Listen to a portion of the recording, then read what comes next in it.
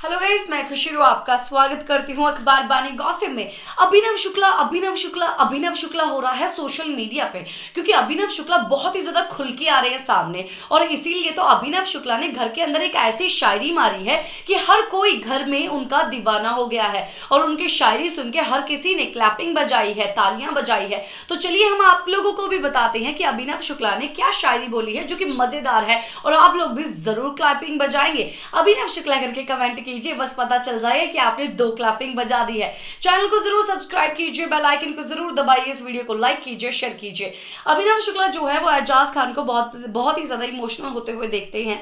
तो वहाँ पर वो सबके बीच में खड़े होते हैं और एक शायरी बोलते हैं। वो शायरी ये होती है कि जब आँसू आए, जब रोना आए, तब खुद पोछ लेना। अगर कोई दूसरा पोछने के लिए आएगा, तब सौदा करेगा। वाह, क्या बात है अभिनव शुक्ला जी! आपने तो दिल ही छू डाला है। और इतना मज़ेदार शायरी हर किसी ने सुन के तालियाँ बजाई है और हर कोई मोटिवेट हुआ है उनके शायरी से। है ना कमाल की शायरी? मज़ेदार। तो अभिनव शुक्ला कमेंट कीजिए, हमें पता चल जाएगा कि आपने दो तालियाँ बजाई हैं। इसी के साथ मैं लेती हूँ इजाज़त। बबाई टेक केयर नमस्कार।